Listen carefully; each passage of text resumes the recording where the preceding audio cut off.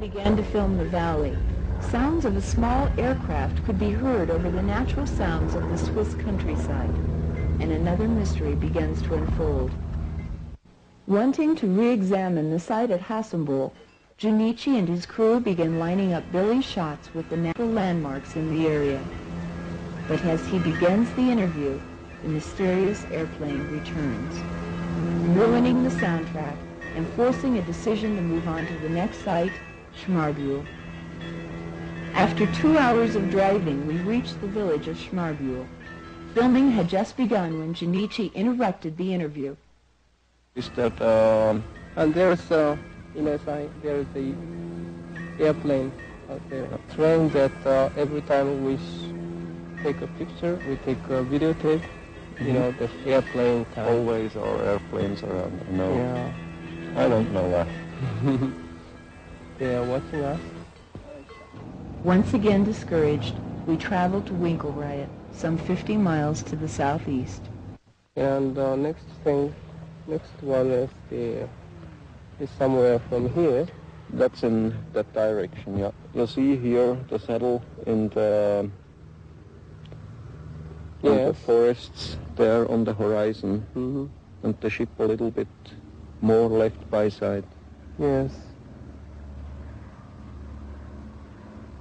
Now it was cloudy at that time. It was cloudy at that day. Now we can hear the uh, sounds of the airplane again. Yeah. It's always the same. You see, when I got all my pictures, my films, all the times were was there airplanes. Mm. Practically by every place where I shot pictures. Okay.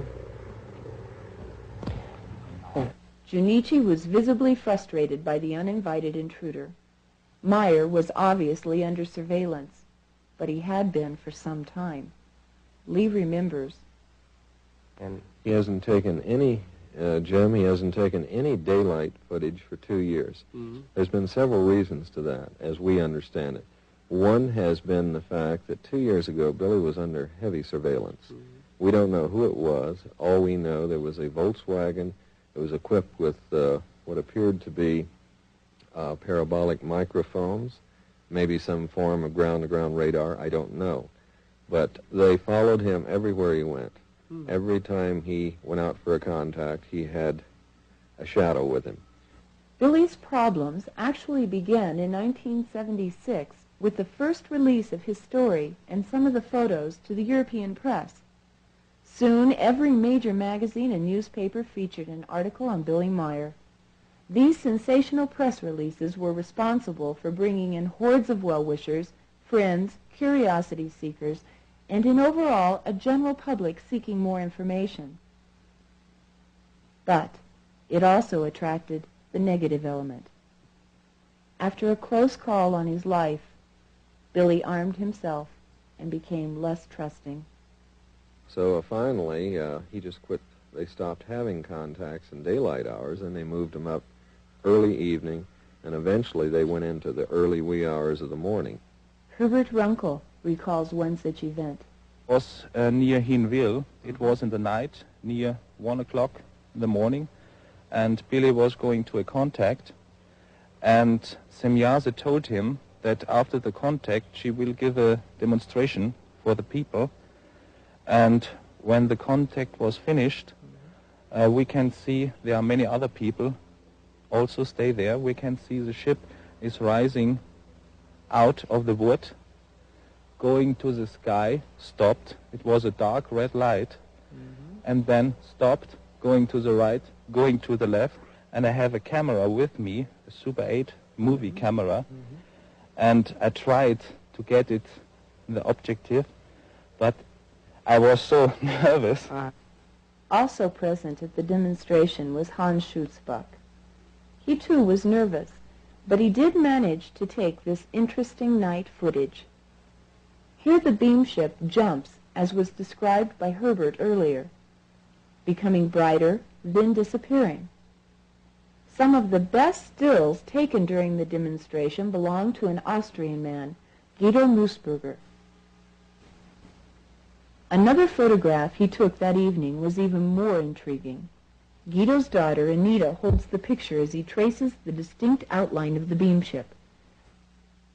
Guido's photo remained an oddity until a few months later when a second unusual photograph appeared.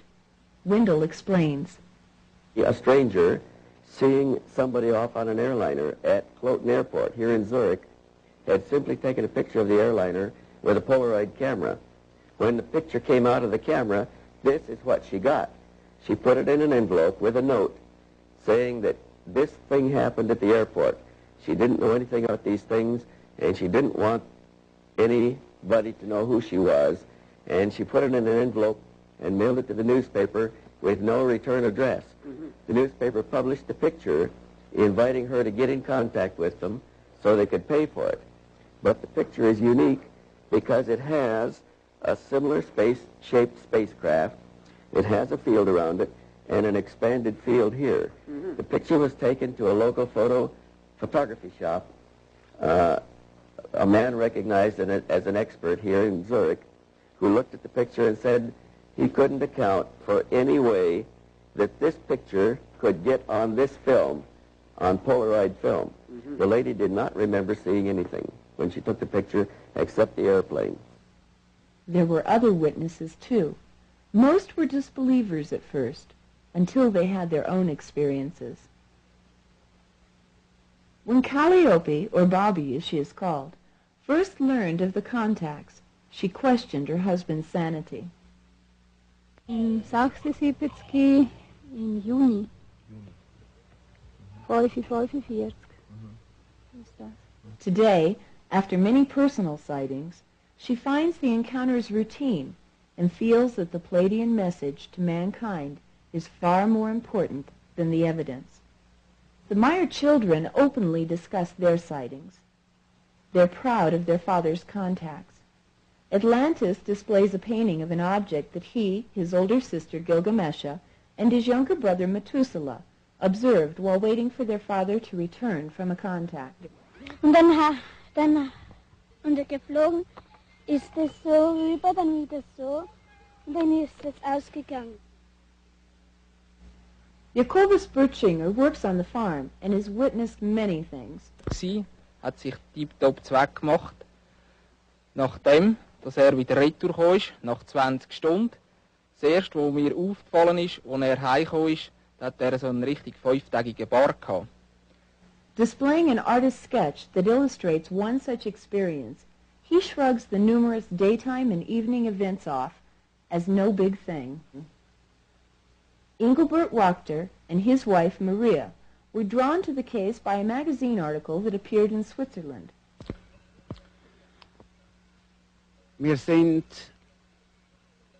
respektive der Billy ist dann von der Semjase dirigiert worden durch hunderte von Strössli und Wägli, bis wir in die Nähe vom eigentlichen Kontaktort gekommen sind. After tracking Billy down and spending an afternoon with him, they came away convinced of his sincerity. Later, both of them would have their own personal experiences. Elsie Moser is a schoolteacher living in the Zurich area. She first heard of the Meier experiences from a friend in the summer of 1976. Mm-hmm. So after you saw many, uh, many things? Then, yes, not just the first time, I realized that it, I could see it. Mm-hmm. Then the second time too, and so I'm, I'm sure. Since early 1975, over 40 people from all different walks of life have at one time or another been part of the Meier experience. Herbert Runkel came from Munich not only to act as a translator for Junichi, but also to describe as a witness his many experiences. I come out on this place, yeah. and from this front, Billy and one woman was coming. They made a walk in the morning, and I go here, near this. Oh, yeah. And then I light my cigarette and look around to this area. Mm-hmm. And then one light switch on, mm-hmm. maybe here, yes, and it's going this way over the house. Mm-hmm. And near the antenna, it was so bright. Oh, how big Yes. was it? How? This one. Oh, Yes. oh, Like a small ball. I see. And it was a quite cold light. Mm-hmm. Very intensive. Yes. Uh-huh. And then the object is going w- away over the woods. Mm-hmm. And since going away, the light uh, will be small, Mhm. dimmed,